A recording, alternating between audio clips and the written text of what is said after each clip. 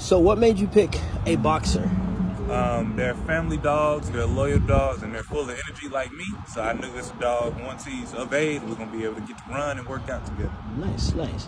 I like how goofy and silly they are. He's always playing and, and just acting silly like how I am. good, good, good. They all they always say a dog is a reflection of their owner. So we got the athletic fit side and the goofy side, and you got both with him. so what has been the I guess the most difficult thing with him so far? Um, I guess just realizing that just because we did the training that one time, he's not gonna get it right away. Just knowing you have to be patient, let him, you know, have that repetition until he finally understands it. yeah, I would say, um,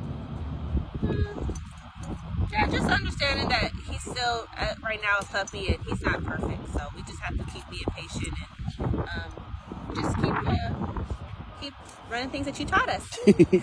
and have you noticed a different dog from the beginning of training until now? Oh, yeah. for Yeah. sure. It's getting easier for him to understand what's expected. Right. Um, 'cause sometimes we expect our dogs to just, like you said, pick up on things the first time we tell it. And some dogs are smart enough too, but they're also going to try to cheat and get away with stuff. And